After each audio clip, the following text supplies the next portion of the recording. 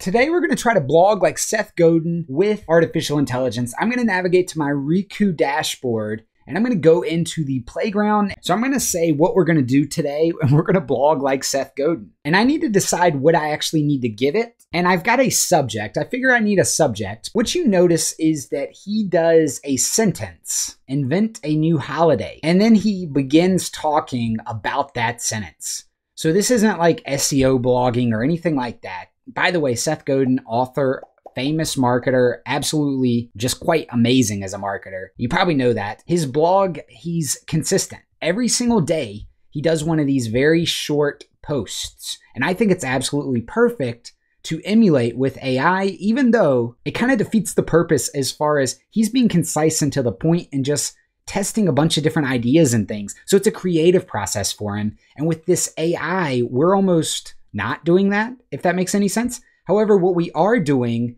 and this is one of the reasons I want to do this exercise, what we are doing is being succinct with what we're actually talking about. On schedule, we get a huge benefit from making a simple commitment.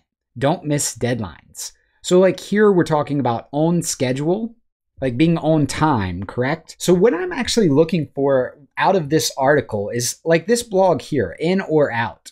Often overlooked is how uncomfortable it is to sit on a fence. Get in or get out. Wasting time sitting on a fence wastes more time and emotion than you'd expend committing to something. This is that Gary Vee concept of half pregnant. Uh, a lot of companies have to go through the same old thing, and you get into what I call the half pregnant zone. And that's what I want to talk about. Do not get caught half pregnant. If you want to embrace the tools that are out there today, you've got to just go do it. There should be no excuses. You can't be half pregnant. I'm going to get started today, and we're going to take a phrase. Maybe we'll go with instead of subject, I'll leave it at subject for now. We're just going to go with in or out. We're going to go with a one prompt intro. And then for our output, I'm going to paste it underneath the numbers and I'm going to give it three more numbers. I'm going to start with three of these. So I'm going to copy and paste the format, and then we're going to go and we're going to just pick a couple more. That one was quite short. So maybe here we'll come in with limitless, which is about infinity, which is a great idea, but unless you're doing the math, it's mostly an idea. And I'm going to use this as our second prompt. He doesn't claim that every day is remarkable. And this would be a lot better if we fed it three remarkable ones but for today's exercise, we're just going to feed it something. The thing about a gold rush, it's not the gold, it's the rush that changes the way people behave. I actually like that.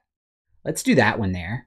So let's get started testing it. I'm going to keep my temperature at 0.75.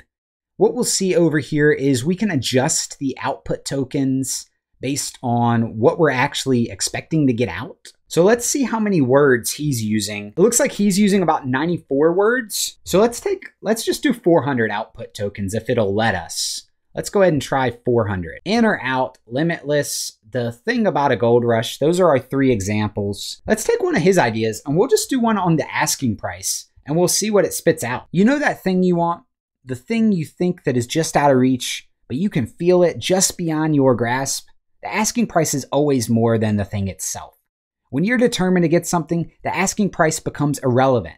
You find a way to pay it. Remember that the next time you want something big and you're tempted to give up, the asking price is always more than the thing itself. We just wrote like Seth Godin. All right, let's read his. The asking price.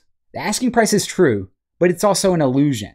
If you're offered a job and negotiate a raise of 10% over what was originally offered, that's good, but it has nothing at all to do with what you're actually worth.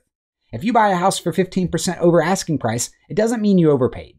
The asking price is a signal, a way to message expectations and begin a negotiation. It's simply a guess about the future made by the person who goes first. It can anchor our thinking, but if we're not careful, it can be an anchor that also drags us down. So his is better than mine, right? My my AI output. However, mine was pretty good. Better than I could write. You know, I, it's a way of thinking. So I don't know if maybe it's just I'm not as creative as Seth Godin, or perhaps, you know, in fact, that's a negative statement. We're going to revise that right this second. It's not that, it's that I'm not blogging every single day. I'm not doing the work. So let's do one on negotiating and see what the Seth Godin inspired AI has to say. Negotiating is all about finding the overlap between what we want and what the other person wants. It's not about finding a way to get them to do what we want. It's about finding a way for both parties to end up better off than they were before. Sometimes that means compromising, but it doesn't always mean giving in. It can also mean standing firm on what's important to us and being willing to walk away if we can't find common ground. That is some pretty good advice on negotiating. How about marketing? Marketing is a strange and nebulous thing. It's the art of convincing people to do something they may not have otherwise done. It's the process of getting someone to see things in a new way. It's also a science, though. There are principles and frameworks that can be followed, and if you understand how people think and how to reach them, you can do some amazing things. Have I absolutely cracked the code here? I can give it a single word and I can get some very good outputs. We might as well end on sales and I'll tell you about a sale that Riku is having right now in AppSumo. Lifetime deal $49. Link in the description. Support the channel. The salesman is the person who helps us understand what we want. He's the one who helps us see our desires in a new way, who makes it possible for us to dream about what could be. He's not always right, but he's always optimistic. And that's a good thing. That's actually pretty good right there. I'm going to do one more on sales because it wasn't quite the angle I was going for. Sales is a process about finding someone who wants what you have.